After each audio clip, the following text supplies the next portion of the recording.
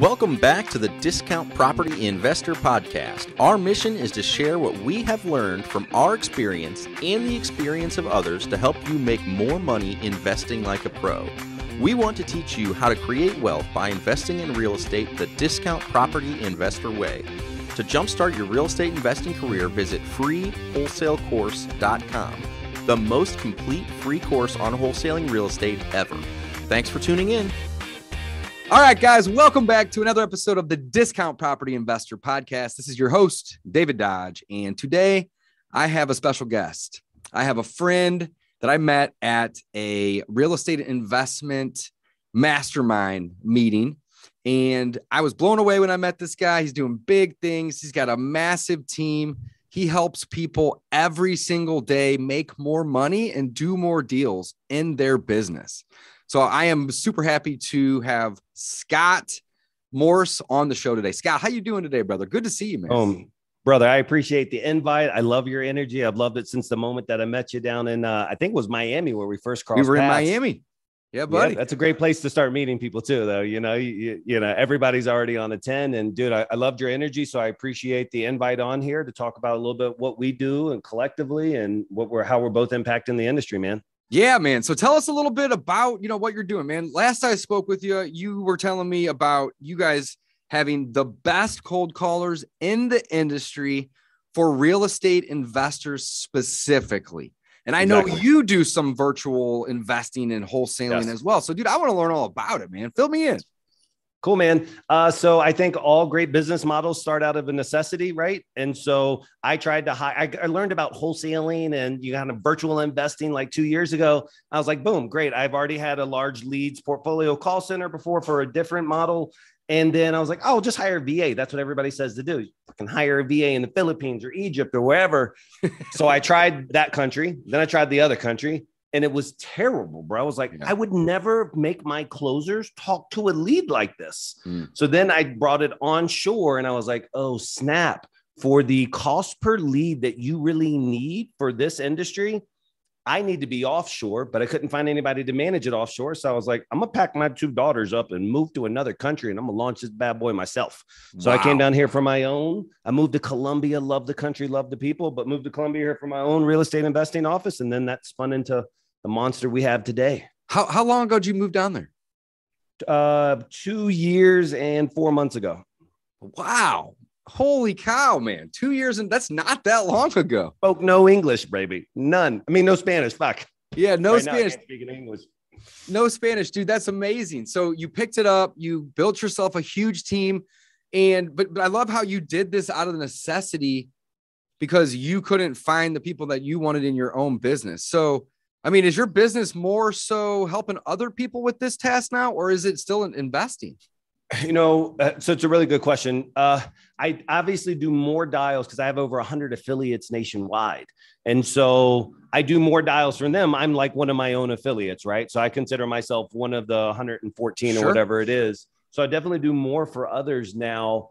Uh, but what I always tell people is I would never send you a lead. I wouldn't send myself. Yeah, absolutely. And I think that's the dynamic change is some guys are just in it to send over data. And it's like, man, what this industry calls a lead, I call a data record. What this industry calls an opportunity is what I call a lead. Yep. I ain't wasting my closer's time. and I don't want to waste your closer's time. Yeah, no, that's awesome, man. And a lot of a lot of these virtual assistants that are out there and or companies, that's their business. They're not actively investing and buying and wholesaling and negotiating. So the fact that you're training them to do those things Yes. for you and for other people, that's cool. That's amazing.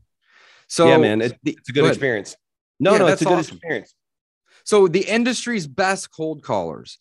And this is for real estate specifically, right? Yeah. It's the primary model right now. That's awesome. All right, cool. So tell me, you know, what makes you guys the best? Yeah. So I think a lot of it starts from the top down, right? It's just the amount of experience. Like my DOS or director of sales here, I met him 22 years ago, right? And I'm, I'm 41. So you're talking about long, hardcore. We met at a timeshare track 20 years ago, just really ruthless guerrilla sales over decades. And so I brought a guy, a couple of guys over from the States down here. Were you selling timeshares or you were trying to buy oh, one? Oh, yeah. No, no, no. I started selling timeshares at 20 years old, and that's how I got into like a, what I call like elite sales. Like, Dude, the people that sell timeshares are are hell of a good salespeople. Every time I've been pitched from a timeshare person, I'm like, God, where's the door? How do I get out of here? They're surrounding you. They're like, come on, you're an idiot if you don't buy this. And I'm like, you're right, Yeah. but I don't I don't need it. yeah. Timeshare Yeah, is uh, that's a great place to start, my friend. Holy cow. Yeah, that's that's where all the sales DNA genuinely came from. And I stayed in that industry for like 16 years or cohorts of that industry. And then literally I was in that from 20 to to when I discovered what a wholesaling was just uh, like two and a half years ago. And I was like, oh, great. This is a highly disruptible industry. The way I Mhm. look at wholesaling is it's hyper fragmented. So you got all these mom and pop little investors. There's a preponderance of people that are more hobbyists than like legitimate, like ruthless entrepreneurs. And that's Mhm. okay. Like, no knock. Some people really love time fishing on the lake. Uh, cool. I love it. But it makes it highly disruptible. And then the sales skills are varying throughout. Like, you don't have to be a murderer to make money in real estate, Yeah. but the murderers can really dominate. And so They I just saw it as a murder it. murder. Yeah, man. Yeah, it's great. It's amazing how as how many people are in this industry, but yet how untapped it is. Yeah, I know. Well, there's a there's another there's a new motivated seller every 30 seconds, right? Somebody's going Ooh. through a distressed property situation, someone's going through a distressed personal situation. When you find somebody that's distressed, you can help them at the same time. You can bring the neighborhood back. You know, I always I like to talk sometimes about, you know, when somebody tries to say, you guys are taking advantage of people, right? I, I always say, well, you know, there's probably there's people out there doing that, obviously, but how many people are being employed when we buy a house and fix it up or even wholesale it to another investor who's going to fix it up? There's title people involved there's contractors involved there's survey companies involved there's insurance companies involved like everybody eats when we do deals. You got to think this is- about those things right? So Absolute gospel. The very first deal that I ever did for helping somebody was a young lady. And it was, I first started at PPC and then I cut on cold call because I'm really, really passionate about digital media. And she's a recorded testimonial, anyways. And so, but she contacted us, filled out a form when her ex husband was in jail. He had just been put, sent to jail the night before for domestic abuse. And she's like, that's it. I'm done. I need this gone. I need to disappear out of town. I'm going to need help with the U-Haul. It can't go into my name. I need, and we ended up having to take it as a sub too because her story was so good and her mortgage was so high. It wasn't a cash deal. And so we finessed and figured out a way to make it work. But it's those, I say we buy ugly houses in ugly situations. If it's not one of the two, we're not the right solution. we're not the right people right But dude, we're helping people. If you're doing it the right way, you're helping people out of a situation. And if you're the one doing the rehabs, I've I've gotten stuck with a, a foundation issue before. Like it sucks, but you know, we're taking the bet and we deserve to make money. It's America, but I love what we do as an industry. I love helping people help customers. Man, I love it. All right, let's talk more about that then. So, if somebody wants to work with the best cold callers in the industry, what does that mean for them? What what like what are you guys doing that is bringing opportunities and potential purchases to your clients? Like, you know what I'm saying? You guys have a team of cold callers. They're not in the Philippines, they're not in Egypt. Let's start there, right? Yeah. Because Right. that's what And that's what you that's what you didn't like about those people, for example, that you had worked with in the beginning. So this is crazy, bro. You picked up and moved across the world. And literally Who put everything this? into containers, shipped them here after I kind of scoped out an office, came down here, set it up. And it was only, I was just going to do 16 people. I was like, Okay. the most we'll ever get is 16 people. We're hovering And this around was basically people. designed though for you and your business, right? In just for me and my own wholesaling Okay. business. And it was that way for six or seven months. I never even considered doing it as a outsource type thing until like somebody in a mastermind was like, Hey dude, can I get some callers? I was like, yeah, I guess. bro. I I'll just why not? more. And then right. before you know it, this guy found out, and this guy found out, and then this guy found out. That's sweet. I was like, oh, this is a cool business. Like all of you guys got the same problem. yeah, a lot of people got this problem. But there's a difference between vanity metrics. That's something that this industry is screwed on. This industry is addicted to vanity metrics. Projected profit. Screw your projected profit. Number of leads. Screw the number of leads you got you couldn't get back on the phone. It's Mhm. what's actually substance. And so we're Mm. less leads than you expect, longer conversations than you've ever had. Mm. I'm not a volume play. I'm not here to say I sent you the most leads you've ever gotten in one day. Yeah, I'm you sign up with me, you're going to get a 100. That's probably not the case, but you're going to get one or two or three that are going to be good. Great people that want to talk to you, bro. I love that. Yep. People that want to talk. Do you know how frustrating it is for a real deal closer to have to act like a glorified VA because they're Mm. calling underqualified leads that never should have been sent over? So Mm. that was the mantra for us. It's like, I need my closers closing, I need my fronters fronting. And so I have two separate chains. And then I say, okay, great. I'm going to do the fronting for your business. And so your closers close, my guys front. We get it highly qualified, highly motivated. Every call is 15 to 17 minutes long that Wow. we're qualified it. Then we send it to them, and then it's on you to do your part to close. Wow, that's awesome. So you guys have multiple steps in the process. Um, are you generating the leads in the list, or are they, or is there a com- I would imagine there's a combination. They get their good list from driving for dollars, maybe, and they're like, hit this list hard for me, right? Yeah, the problem is, or I shouldn't say the problem is, the advantage is, is now we're at scale. Like I literally have for the first time a data scientist. His name's Leo. He's the Oh, wow. bomb. We have a whole That's data sweet. management team. We have a UX team. And our data analytics, because we're doing close to two million dials a month, I mean, uh, two million dollars a week. We're about 7.7, 7.8 uh, million dollars a month right now. Man, And so we're passing all that back to something called a data lake or a repository. And I just know what lists are performing best. yeah. So totally. if you were my client, you would say, Hey, do I provide data from you or should I get data from you, Scott? And I'd say, Well, how good is your data? How good are you at data integrity? Mhm. And if it's not like, Hey, dude, I'm running it like a well oiled machine, I'm like, Dude, let me just look into the back and tell you what lists are performing best. Let's make some recommendations. I know what zip codes, I know it all. So the reality is, is most people's data game can't hold a candle to ours. So Mhm. most people are just, dude, do the front end of my business, do the data, Yeah. do the qualifying. I'll do closing and dispo. And so I take the front end of their business away. Man, that's crazy. I saw that you guys are doing dispo now too. Yeah. I mean, when you're got so many, When you got so many there- people, why not? I think it's great. I think it's amazing. You guys are helping people, you know, tee up deals, and then whenever they go get them and they're too busy, you can help them unload them too. This I always awesome. tell them, listen, bro, we'll get you the contract. You know, you market it for five days. You can't move it in five days. Send it to me. Bring it back. I take a Yeah. fee, but you know, it's better than returning it back. And what it does, honestly, though, David, is it helps my affiliates go into new markets because they're like, dude, Philly's my hometown. I hired you. We're murdering it. Where's next? And I'm like, well, hey, this other market is really on fire right now. They're like, boom, I want to go in. They leverage me for a dispo for two or three months. And then they establish the Oh, that's, buyers that's so smart. Yeah. It just a, and like I shouldn't be your long-term solution for dispo. I should be your hey, you saved my ass, you allowed me to expand and then do it again in a different market. Love it. Love it, man. Holy cow. So you you're working with over a hundred different, and you refer to them as affiliates.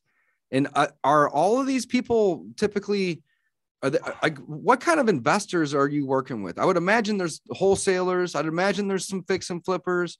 And I'd imagine you even got some people that are just looking to buy properties. They're landlords and, Yeah. and, you know, all all of it, right? So the guys who just want to cut out wholesalers, I don't take on. And the reason why, when some guy calls me and says, Hey, man, I'm tired of buying these deals from wholesalers, it's not consistent, it's not this, I say, I understand your problems, but a wholesaler is worth every single penny. You guys have been buying off of paper for the past 20 years. You don't know how to negotiate, you don't know how to close, you don't have a nurturing system in your CRM, you don't know how to isolate data, handle objections.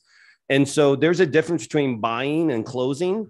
And so I don't take those guys. But if it is an uh, real estate investor who has an internal sales team, I'll take them. So that Got it. probably comprises of about 20% of my affiliates. The Mhm. other 80% nationwide are just raw dog, ruthless, established wholesalers, like wow. real deal closers. How many So of we- those people are doing it locally in their markets versus just doing it like in in all virtual places? Bro, I I would assume 95% are virtual. Okay.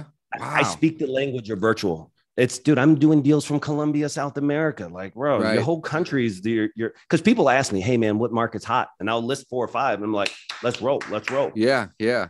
I love it, man. Holy cow, this is crazy, man. Your energy is amazing. Every time I Thank you, bro. see you, hear you, watch you on, I follow you on socials. You're you're constantly putting out awesome, awesome stuff. Your office is really, really cool, beautiful office.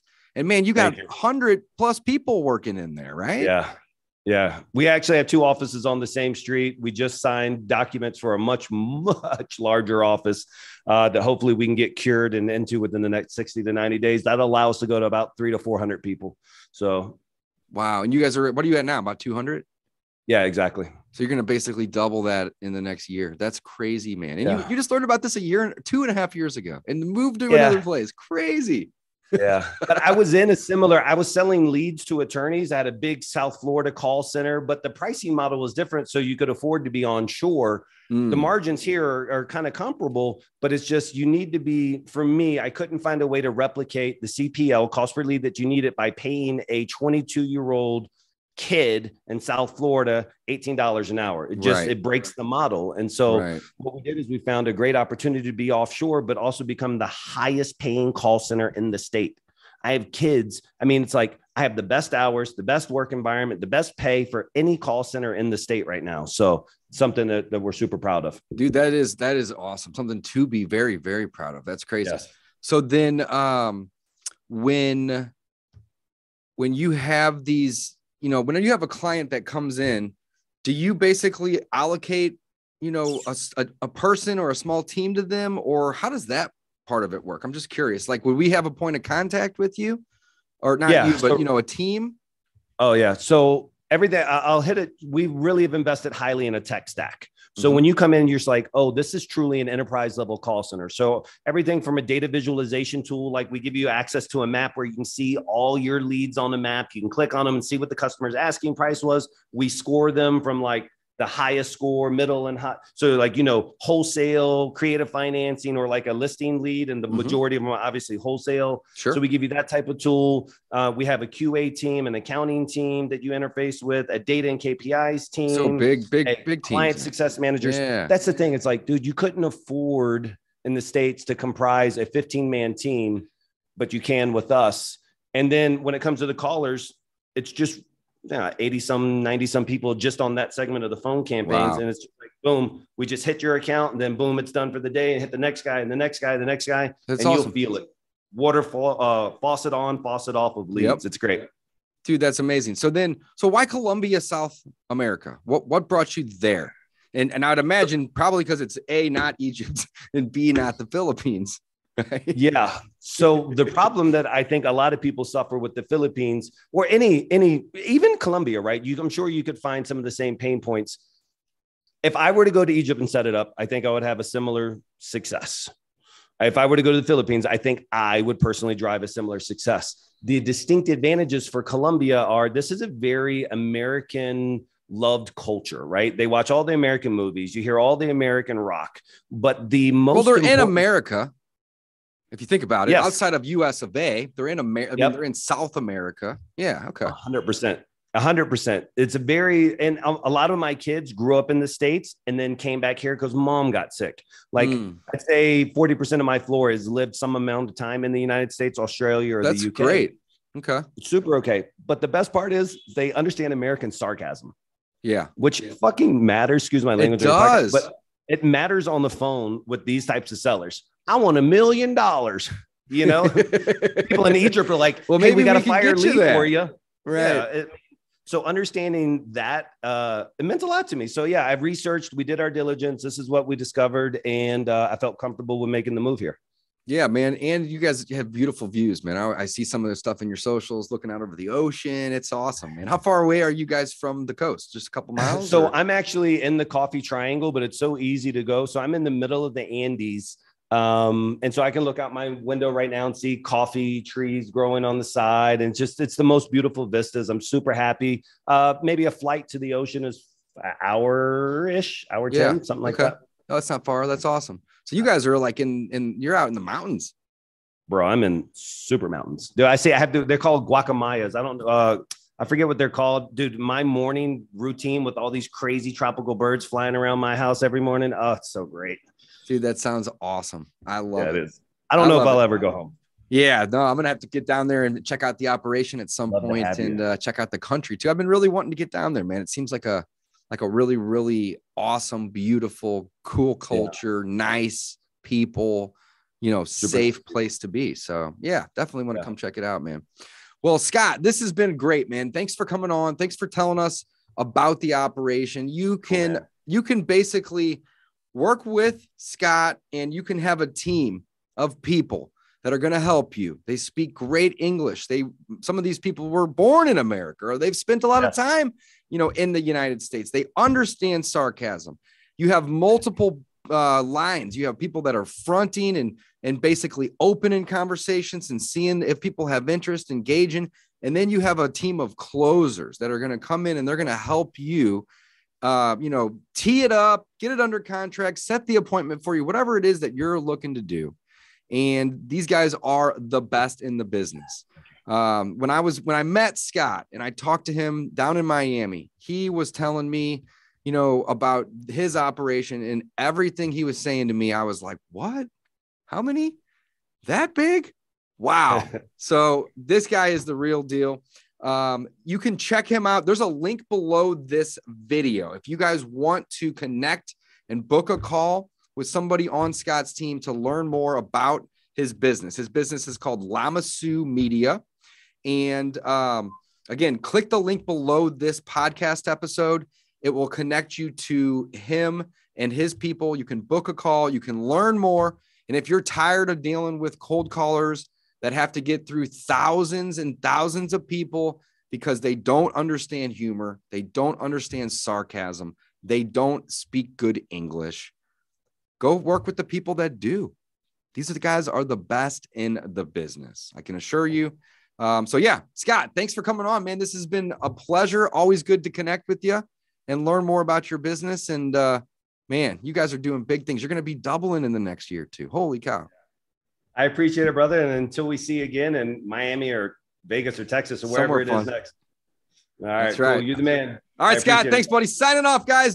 Don't forget, you make your money when you buy. You get paid when you sell. Until next time.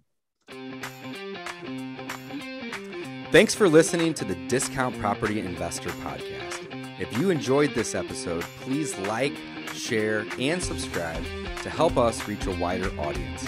To jumpstart your real estate investing career, visit freewholesalecourse.com, the most complete free course on wholesaling real estate ever. We would also appreciate it if you left us a review on iTunes or Stitcher. Thank you in advance for your support. And remember, you make your money when you buy, you get paid when you sell. Now let's go build some wealth.